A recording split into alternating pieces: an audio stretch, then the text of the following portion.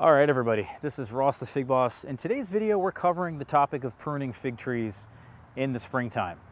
And there's definitely a little bit of different things to focus on if you were to prune, let's say in the fall or in the wintertime. There's definitely a little bit of a difference now that we are in the spring. And I would highly recommend you guys go back. Actually, we did a pruning video of container fig trees and in-ground fig trees, two different videos in the fall and we talked a lot about the rules and what we're really trying to achieve at those times of the year and what pruning really is all about for fig trees. And it really just comes down to, if we want to boil it down to sunlight, because we're trying to maximize the amount of sunlight that our trees receive on every point of our fig trees. Because if we can maximize that sunlight, we can have a more productive tree, definitely an earlier to ripen fruits and definitely even higher quality fruits. So all of that should be our focus. We should really be aiming for maximizing the sunlight. And one of the things that I highly recommend, and we'll do a different video actually on this, is actually the, the, the process of staking.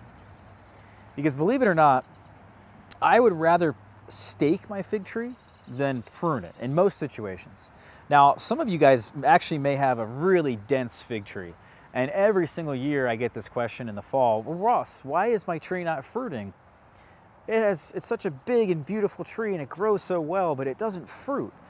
Why is that? Well, it's all about that sunlight. It's probably too dense in the center of your tree. Your canopy is too many branches, too close together, and you're not getting the sunlight that you need. Even this spot here on the southwest corner of my house probably gets the most heat and the most sunlight, and it's probably the best spot in my yard for a fig tree. But even so, with this good spot or even a worse spot, I want to maximize the amount of light that this tree is receiving. And the only way to do that is with proper pruning and of course staking.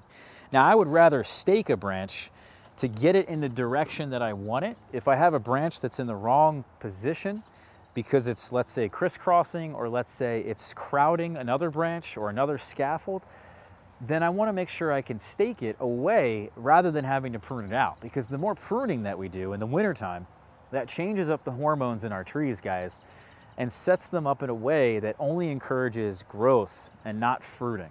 So we don't want to be pruning a lot either.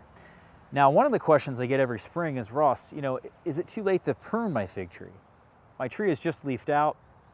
It's starting to grow. Well, in actuality, it's not really too late we even do pruning in the summertime, and that's called pinching. Go check out some of the videos I've done on that. And I would also highly recommend if you guys at this point, you're enjoying the content I've been creating, hit that subscribe button for me, hit that like button for me.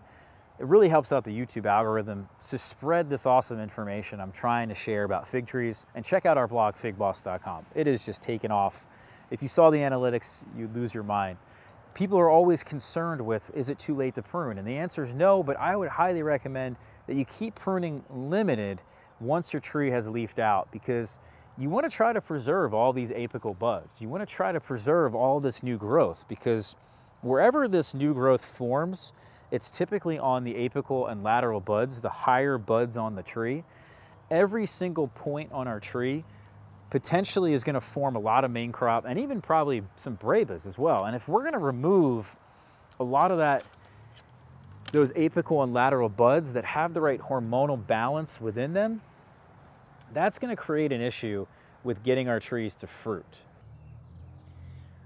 That there are different buds on the fig tree. And so you have the topmost bud, that is the apical bud. Buds below it are the lateral buds. And they typically, again, they have more energy and they have the right hormonal component within them. So if we're pruning them out, we're actually making it more difficult for our fig tree to fruit. And those buds, a lot of time, a lot of the time are gonna be leafing out in the spring. And if we remove a lot of those buds, we're actually getting later to ripen fruits, we're getting a lower fruit quality, and we're getting less fruits to begin with. So I would recommend trying not to prune. Um, but if you need to prune because your tree doesn't have the right shape and it isn't getting enough light into the center of it and things are too crowded, then you have to do what you got to do. And so there's always a pro and con to everything. There's always nuance in life, right? However, in general, a rule of thumb for me is to reduce pruning to the absolute minimum. And the way to do that is actually to use staking, to stake the branches away from each other That's the best of both worlds because you're getting the open center that you want and you're getting the you're preserving these buds that are so important for fruit set and production and earlier ripening fruits and higher quality fruits. I will say this as well before we do any further talk. I would highly recommend these two tools, by the way. These are, in my opinion, I've tried every single tool in the business. These are the highest quality tools, and they're also the best tools for any pruning job. This is the Felco 8. It's really good for lower caliper things lower caliper branches, excuse me. And then this is the Silky Pocket Boy. I really like these smaller um, saws that allow you to really get in there and uh, they're so ergonomic. It's so easy to actually cut with them. And I'll put the link to these in the description actually, by the way, if you guys are interested. Uh, let's get back to some of the other objectives. Now we talked about light maximizing light.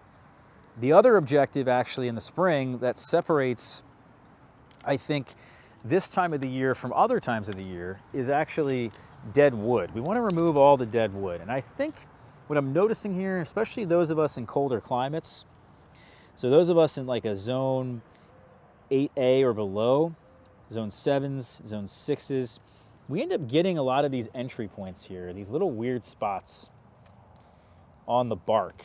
And uh, these entry points, for whatever reason, I think it's because of the the cold and the freeze thaw cycles that occur.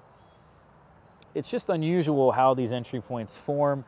Figs, just for whatever reason, they get these, these spots here. And as a result, a lot of the growth above it tends to die back where those entry points are. And inevitably, if this gets a little bit too wide, maybe we have a bad winter, we end up having something like this that occurs where the entire branch, I have to cut it back to a much lower point. And you can see actually this is the remnants where a lot of that damage had shown up on this particular branch. But you cut it back as a form of rejuvenation pruning and these two branches now are coming up in its place and will eventually take over the space that that was in and attain that, that photosynthesis, that sunlight that the tree wants. So it's not necessarily a terrible thing, but it's a good way to regulate the size right? Everyone wants a smaller fig tree. You don't want something too big. Everyone's always concerned with, oh, it's just too big. How do I deal with that? Well, take out some of these lower branches from the bottom. Remove every one of those, or a few of those, I should say, maybe one or two, maybe three every year, every other year, and that kind of recycles the tree, allows it to become more healthier, allows it to uh, be more attainable of a size, and you just in general see much more success that way especially with something like fig mosaic virus. And a lot of growers, I will argue, will tell you that fig mosaic virus never really, um, or it can be just outgrown. The fig tree will outgrow it. But in some situations, if the, the, the case of fig mosaic virus is severe enough, your tree may never outgrow it. And it will always deal with it throughout the remainder of its life. And one of the best ways to actually get rid of it is just do this pruning that I just mentioned prune out some of this lower growth, some of the thicker branches here, like the scaffolds or branches from the trunk, um, or one of the trunks, excuse me, from the soil, that's gonna help rejuvenate your tree. It's gonna just respond by growing a lot, right? As I said, if we remove a lot of growth in the wintertime, especially these apical and lateral buds, the response of our fig trees is just to grow and grow and grow, but that sometimes can be a good thing. And other times we want our trees to fruit as much as possible. We already have a healthy tree. It's already beautiful and the right size. We're already getting the right sunlight penetration that we want. Um, so that's the main concern I think right there is taking out some of that dead wood. I've really noticed that over the years as the trees are starting to get older, they have these entry points and these weak points. And I think instead of just letting them grow and letting them do their thing, it's best to kind of take them out this branch here, this scaffold in particular, is showing some of that damage. And I imagine, even though there is very limited dead wood on this tree or on this section of the tree this year, there is still some of that dead wood. And I would not be surprised if maybe this time next year, this whole branch is dead. And so maybe it makes sense to actually take this out, allow something from a lower point that is healthy to take its place. Um, and that way we don't have to deal with this in the future it's just something to think about. Maybe you guys have similar spots. Every tree is different and every variety is different. I have noticed this on other trees as well. one of my Azores Darks over here actually, and I've already taken steps to, to prune this. But I think taking out all that dead wood is really critical. So you can see right here, I took out the dead wood where that was, and then here's all the new growth here that's kind of taken its, its place. But anywhere you see these weak points here, like this right here, it's just a sign that maybe at some point in the future, your tree could actually take some significant damage. Um, as you can see up here on this Ronde Bordeaux, we do have a little bit of dead wood.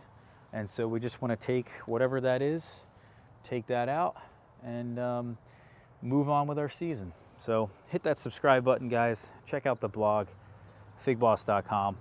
See you for the next one. Take care.